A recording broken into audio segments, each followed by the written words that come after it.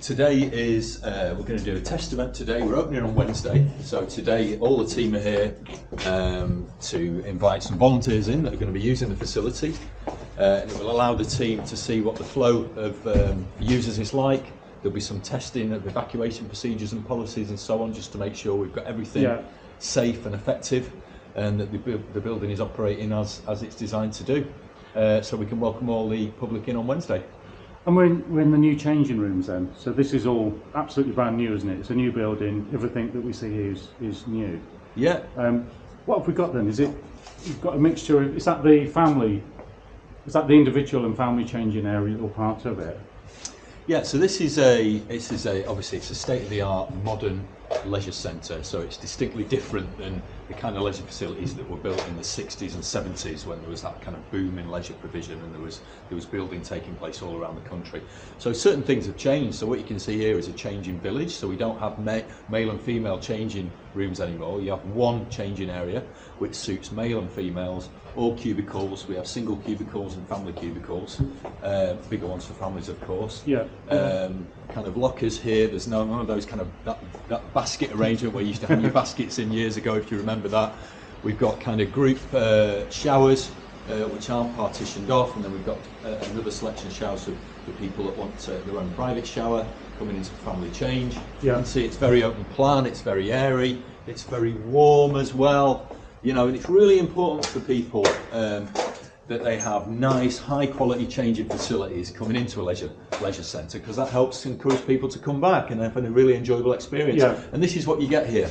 And the, the group changing then, they're different to like a family room. Is that just a bigger room again? Yeah, so the group changing is is is primarily for schools because obviously you know uh, uh, the, the national curriculum for schools means that all children have to be able to swim 25 metres Yeah. before uh, at the end of year six. So these are school changing rooms when the schools come in, um, and there's two there. So obviously one school can come in and get changed, uh, leave their kit there, and then the other one can come in later on, and then um, an overlap. So you know. make best use yeah, of yeah, the so you make whole, best yeah. use of it. Yeah, yeah. And when when you said it's like, you know, this is a different facility to what we would have seen, say, 20, 30 years ago. Um, I think a lot of people maybe don't understand that. Is that just on efficiencies and and how the you know the building actually operates? Yeah, I mean it's right across the board as you suggested really. So the pool kind of what we call a pool plant, and that's that's the boilers and everything that uh, manages the kind of air temperature in the pool as well as the water temperature. Yeah. You know that's really that's state of the art. It's really up to date. So it's much more um, efficient. So therefore, you know, in terms of carbon footprint, that's vastly reduced. Obviously, the fabric of the building, the way it's designed, it retains heat Mhm. uh, again to improve its uh, reduce its carbon footprint. Uh, and the water quality is much better as well because the filtration systems have improved massively, so you can see how crystal clear the water is, and that's a great user experience. And then if you're just looking around the pool, you can see it's deck level, Yeah. so there's no gap between the edge of the pool and the water line, which helps to create a pool which is much smoother to swim in. There's less waves. Uh, and if you look at the access point there, we've got a, a disabled kind of access point or for people with mobility issues. Yeah. Where they can come in and set stairs at the side of the pool, which is great. Um, so there's been lots of detail and lots of thought gone Yeah, into the yeah. features of the pool to make it a fantastic customer experience. And this is six lanes, of course, so the size of the pool is increased from the old Ripon Spa baths. Yeah, yeah. So that could, that's great to accommodate um, uh, swimming clubs, obviously increased bather load, and this will be laned off as well for certain times where we've got uh, categories of um, lanes for Mm. swimmers that are slower, medium, or faster swimmers. Again, giving everybody a good, Mm. good customer experience. How how will it be um, made best use of then? Because obviously, sort of Saturdays and Sundays are always going to be busy, aren't they, with families? Is it going to be sort of school time for, at some you know at some periods during the week, or will there be like early swimming like in other pools, or like, you Yeah, know, well- swimming clubs that kind of thing? Yeah, we've published Yeah. a we've published a pool program. So Yeah. there'll be an early bird uh, lane swimming session, uh, early mornings. Um, uh, you know, later on in the day, uh, as the schools finish, you know there'll be time for uh, swimming lessons. Uh, Saturdays and Sunday mornings are normally, you know, a swimming lesson kind of time really because that's when, Yeah. when your families want to bring the kids. But also during those sessions, during those times as well, there'll be time for kind of family swims. Yeah. Um, we have an inflatable here as well, so there'll Oh, be yeah. fun swims for kids and families Yeah. when the inflatable's up. So there's a kind of balanced program to try and accommodate all the kind of different types of users that want to come in. You know, young people, older people, families yeah. learn to swim, and obviously during the, during the week there'll be uh, sessions specifically for schools as well. And thi- this sort of site here, then, this is where the car park used to be, isn't it? So the part, I know part of it isn't just a pool, is it? It's the health and well-being side of, of things. The, kind of gym facilities at the moment have stayed. Are they, is it right to say they've stayed the same, or are they being redeveloped? Oh well. yeah, the gym facilities have been significantly redeveloped. So we have a bigger gym space.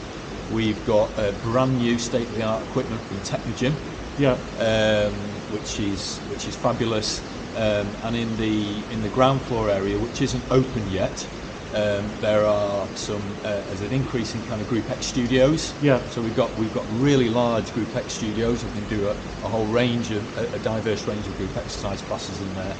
And there's another kind of functional gym space in there as well, which Yeah. is less about your conventional uh, machine gym machines and more about spaces for people to lift free weights and do functional activity. So it really has got an absolutely fantastic dry side, as we call it, or gym area. And just to the left here, Yeah. um, um, well, uh, we've got our um, sauna steam area as well. So is are there kind of uh, sort of in health and well-being and leisure are there kind of trends then that people go through with wanting organised classes or wanting just you know free weights or gym equipment?